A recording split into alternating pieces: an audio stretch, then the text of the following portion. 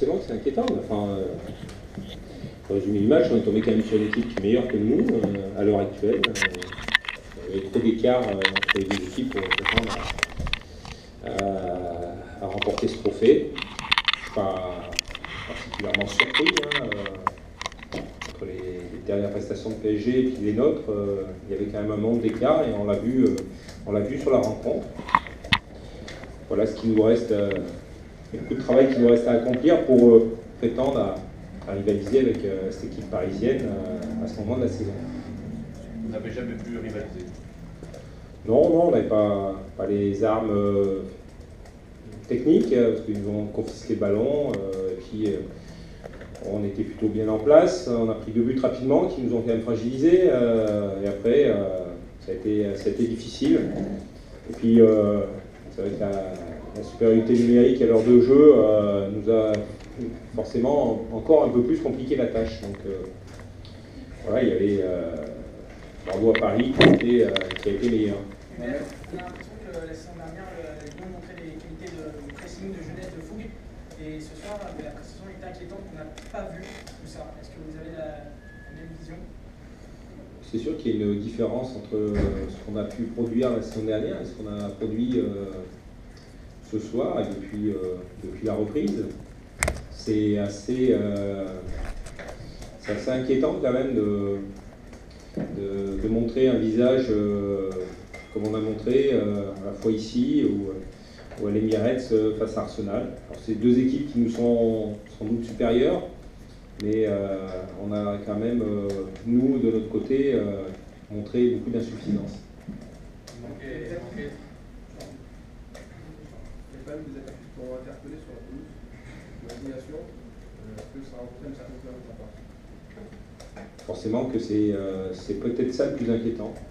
Au-delà de perdre contre Paris qui est, qui est meilleur que nous euh, ce soir, mais ce qui est inquiétant, c'est les états d'âme et les attitudes de, certains joueurs de l'équipe qui, qui nous pénalisent, qui nous fragilisent collectivement et qui les desserrent individuellement. Il y a des cas, des cas rapides à régler? Oui, oui, mais euh, encore une fois, je ne suis pas tout à fait surpris euh, parce que euh, il y a eu beaucoup de changements chez, certains joueurs de, l'équipe et on voit à l'heure actuelle qu'ils ont un peu de mal à, assumer tous ces changements. Donc forcément que c'est il va falloir vite se remobiliser parce qu'on a déjà des échéances qui arrivent rapidement et, et, le visage que l'on montre depuis quelque temps euh, n'est pas encourageant. En tout cas. En tant qu'entraîneur, est-ce que tu as des regrets sur euh, la mise C'était euh, en fonction aussi des aléas de l'effectif. je serais tenté de penser que ce n'est pas spécialement le, dispositif qui nous a contrariés. On avait fait euh, notre losange Arsenal, on a pris 6. là, ce soir, on en prend 2, mais euh, c'est assez flatteur parce qu'on a eu un gardien euh, voilà, qui a fait un bon match, heureusement pour nous. plus que le système, c'est plutôt l'animation qui, qui, peut nous inquiéter. Est-ce que justement, il y a beaucoup de joueurs qui ont re-signé à l'intersaison des, des meilleurs qui passent, qu'il y a une forme d'embourgeoisement chez certains qui font un peu moins d'efforts que, que le passé en tout cas, les prestations ne sont pas à la hauteur de l'investissement euh, qui a été fait euh, en ce début d'année. Hubert, on vous sent en colère, une colère très froide qui vous ressemble, on vous sent en colère, est-ce que je me trompe ou pas On est déçu de la prestation. Euh, je ne suis pas surpris parce que ça fait quelques semaines, depuis le début de la préparation, ça fait quelques temps qu'on voit aussi voilà, des comportements et des attitudes qui ne sont pas en adéquation avec euh, le sport de haut niveau. Donc il euh, n'y a pas de surprise euh, là ce soir.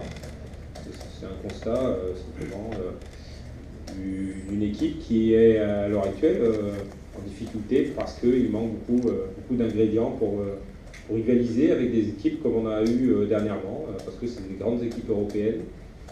Et on voit que la tâche qui nous reste à accomplir, à la fois en championnat, mais surtout aussi euh, en Ligue des Champions dans quelques, dans quelques semaines. Aujourd'hui, il y a environ euh, 1000 personnes qui ont franchi le stade pour cette rencontre-là. Êtes-vous surpris de la popularité de tel événement en salle Montréal? Non, on a vu l'arrivée de, Didier euh, Drogba. c'est quelque part, c'est c'est enthousiasmant pour, euh, pour les amoureux de notre sport de voir que le Canada euh, eh ben, euh, prend le pas et, et- et aime le, le foot. Donc euh, nous, on, est, on était agréablement surpris de, de l'engouement qu'il y a eu autour de cette rencontre. Comment est-ce que Vous avez- changé ces attitudes euh, que vous déplorez en adoptant un management plus, un peu plus sévère? Des décisions. Vous avez parlé d'ingrédients tantôt. C'est quoi les ingrédients qui vous manquent en ce moment pour avoir une équipe qui va être plus compétitive selon le, versus l'équipe qui a, qui a joué la pré-saison les trois, deux, trois dernières semaines?